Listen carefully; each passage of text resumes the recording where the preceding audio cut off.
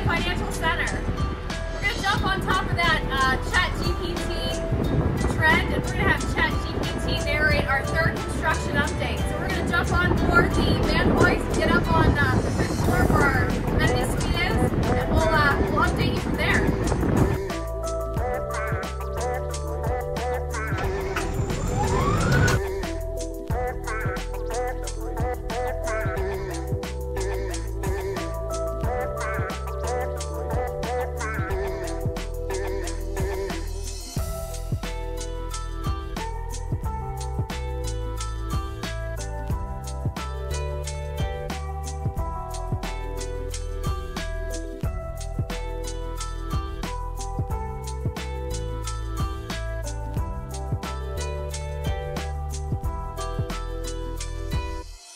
Thank you.